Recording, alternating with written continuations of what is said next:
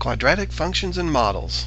So a quadratic function is in this form where you have f of x equals ax squared plus bx plus c where a, b, and c are real numbers and a cannot equal 0. So basically you're always looking for that squared term. As long as your highest degree term is, is a 2, then you've got a quadratic function. The graph of a quadratic function is called a parabola. And first we're going to look and see what that letter a does to the graph. So here I have a general f of x equals ax squared quadratic function and let's see what happens as a cycles from positive 5 back to negative 5. Whoa! Did you see that?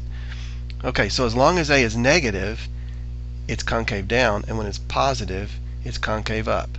See, here a is negative 1.6, and our parabola is opening down and when we let a go up to a positive number, here it's 1.4, it's opening up. So a lets you know if it's opening up or opening down. Okay, now a also tells you how wide the parabola opens up. So watch. The higher a gets, the narrower the parabola is, and then when a is a number between 0 and 1, it gets really wide. So you see there's 0.1, and look how wide that parabola is. Okay, let me drag this graph over here so you can see it better. And we'll zoom out a little bit. Okay, so big A, narrow parabola. And the smaller A gets, the wider the parabola is. The standard form of a quadratic function is f of x equals a times x minus h squared plus k. So what do h and k do? Okay, so I'm going to fix a at 0.5 and watch what happens as I change h. When h is positive 4, this point right here moves over to positive 4. When h is negative 2, this point moves over to negative 2. So h moves our parabola horizontally. Doesn't change the shape, just moves it backwards, left and right, backwards and forwards. K moves it up and down. Does not change the shape, just moves the parabola up and down. So back to our standard form, one thing to remember is that it's always x minus h, and this is always plus k. So that's going to help us find that little low point, that vertex. So now we're ready to talk about the parts of a parabola. This point right here is called the vertex and its coordinates are h comma k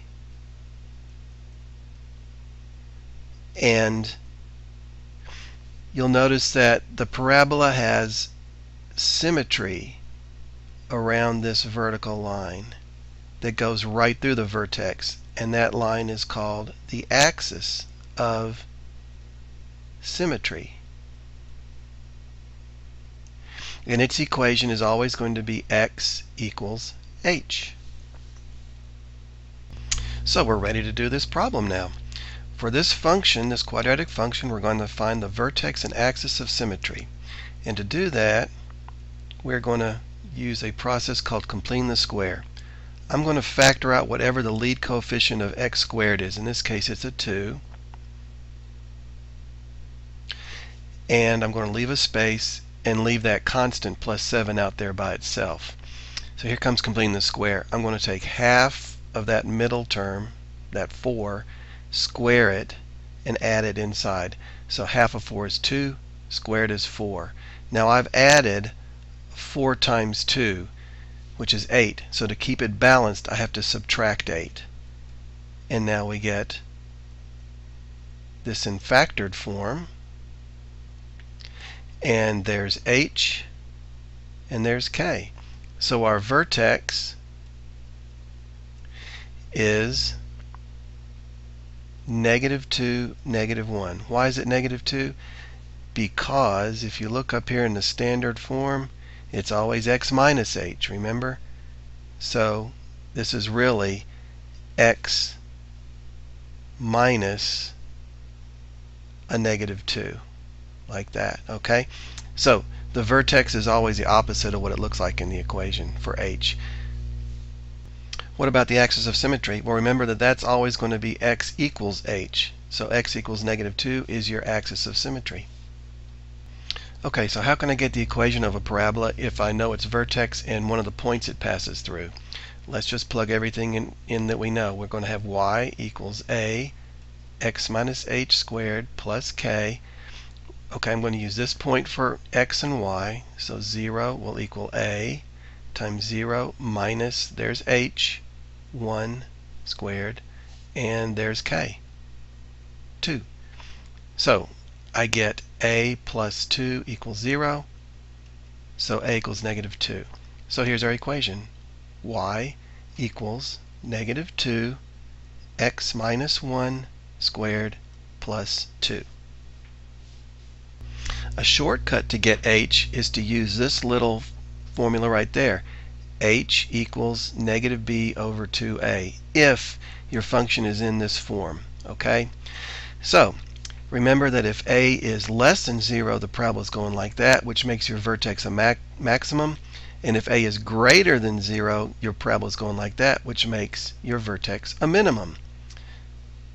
Let's find the vertex of this function. H is going to be negative b over 2a, which will be positive 12 over twice negative 2, which is going to be negative 3. The y-coordinate k is what we get when we plug in negative 3 into our function. So it'll be negative 2 times 9 minus 12 times negative 3 minus 17. That's going to be negative 18 plus 36 minus 17 and that's negative 35 plus 36 is 1. So the vertex is at negative 3, 1. Now if you're wondering why do we even mess with all these quadratic functions and parabolas, that's because parabolas are everywhere. Every time you take a drink of water, you are looking at a parabola. There it is right there. Anything that's a projectile in the air takes the path of a parabola. So parabolas are really useful. You can have a lot of fun with them.